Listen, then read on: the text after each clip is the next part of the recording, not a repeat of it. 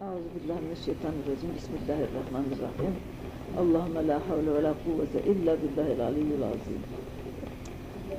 Peygamber aleyhissalatü vesselam buyurdu ki, bir kimsenin evine misafir gelecek olursa, bir melaike gelir diyor. 40 gün evvelden. Ey ev sahibi, ey ev sahibi mesela diyen Konca Hanım, Konca Hanım diyor. Konca Hanım duymaz.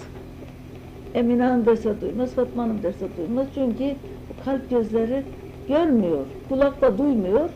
Buradakiler, rahmetlik dedem varmış benim şeyhte de, bu demiş, budak, ağaç budağının deliğine benzer bunlar. Asıl göz görmeyince, asıl kulak duymayınca kalp kulağı. Onun gibi Cebrail aleyhisselam cevap verir diyor. Ne istiyorsun bu ev sahibinden? Der ki diyor, elinde de bir bohçası olurmuş böyle, çıkısı. Der ki o çıkıda ne var?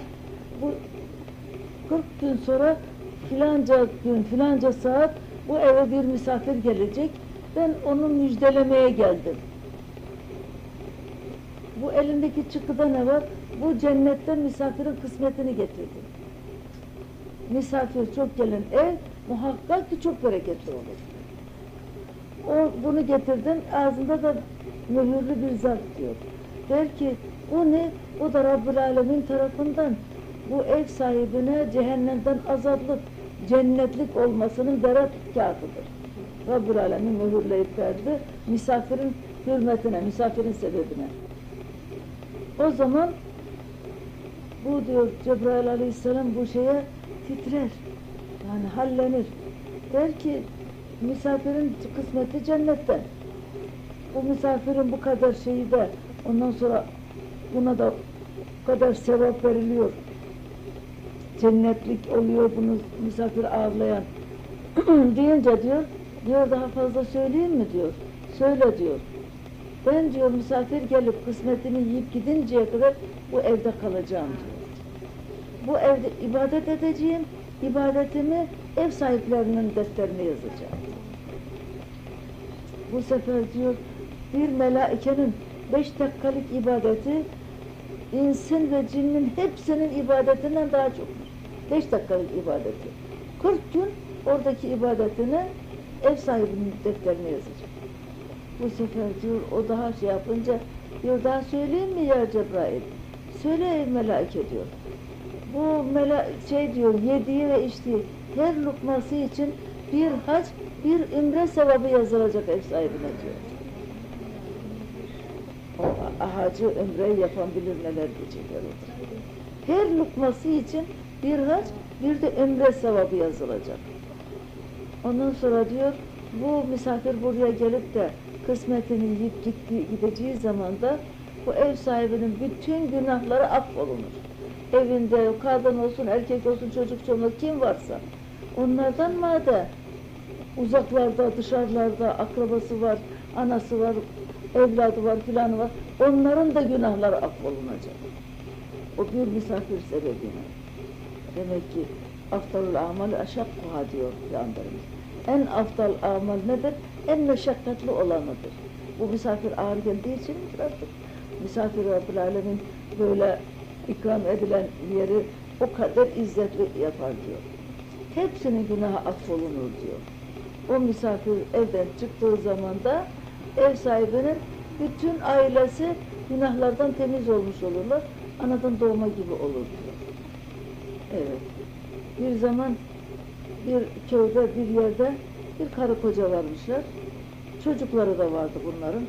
Bir tane keçileri varmış. O keçiyi sağarlar, yoğurt yaparlar, süt yaparlar, çocuklarını geçindirirler. Geçinip giderlermiş. Kurban bayramı olmuş. Adam geldi dedi ki diyor, herkes yarın kurban kesecek. Biz de şu keçiyi keselim. Kadın demiş ki diyor, bizim keçiden başka bir hayvanımız yok. Bize kurban farz değil, vacip değil. Bu çocuklar da çok seviyor bu keçiyi. Bunun sütüyle de epeyce idare ediyoruz çocukları. Bize vacip değil demiş, sen bırak bunu. Adam da bıraktı. Kurban bayramı geldi, herkes et getirmiş, bilmem ne yapmış. Velhasıl getirdi gittiler. Aradan bir müddet geçtikten sonra dervişler gelmiş evlerine. Bir sürü misafir. Kadın kocasını çağırmış. Kurban şimdi keçiyi kesmek şimdi bize vacip oldu demiş. Şimdi bu misafirleri ağırlayacağız. Bizim başka bir şeyimiz yok ağırlayacak. Bu keçiyi keselim, misafirlerimizi ağırlayalım. Adam dedi ki diyor şimdi çocuklar görürlerse ağlaşacaklar. Misafirlerin önünde bizi rezil ederler o çocuklar. Çocuk her vakit için nerem anlamaz. Bağıracak, çağıracak, keçiyi kesiyor diye. Ben demiş keçiyi oyalarım, çocuğu oyalarım çocukları. Sen keçiyi bir eski divar varmış, onun arkasına götür kes, görmesinler. Kadınca git- gitmiş öbür tarafta çocuklarla meşgul oluyor odasında filan. Bu taraftan kocası keçiyi kesmiş. Keçiyi keserken diyor bir de bakmış ki keçi bağıraraktan neyleyerekten eski divarın üzerine çıkmış. Orada bağırıp duruyor. Kadın demiş eyvah keçiyi kaçırdı koca benim. Gitmiş bakmış kocası keçiyi kesmiş. Keçi şeyde yüzmek üzere. O keçi aynı o keçi. Bu sefer diyor kimsenin de değil keçi onların. Aynı şekilde sağlıyor. Hikmetiyle o günden sonra diyor onlar misafirleri ağırladılar, yolladılar. O günden sonra o gayb elinden gelen keçi bir memesinden bal, bir memesinden ya, tereyağı çıkarmış. Böylelikle diyor bu şeyleri. Kim hasta gelse de içse yese ondan şifa bulurdu diyor. Fukara olsa zengin olurdu. Ha uzak yerlerden gelirlermiş millet.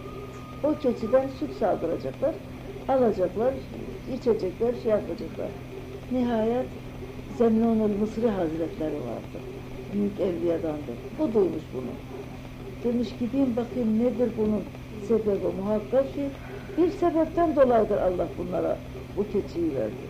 Gidip baksa gelen de elinin hediyesiyle geliyor, boş gitmiyor derken bunlar kırağa, ka- kırağa kavuştular. Demiş ki o keçiyi demiş önümde sağın demiş.